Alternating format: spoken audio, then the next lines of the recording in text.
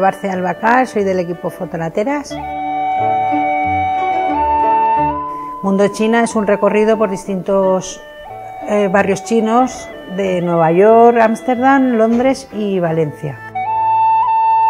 Todas las fotografías están realizadas con nuestras cámaras estenopeicas, que son latas, a la que le hemos hecho un pequeño agujero sin lente y la luz entra de forma natural. Nosotros llevamos cinco años ya, que se cumple ahora en abril, eh, viajando con nuestras cámaras. Viajamos con las cámaras, los líquidos y revelamos dónde vamos. Entonces, a esa gran obra le llamamos ciudades enlatadas.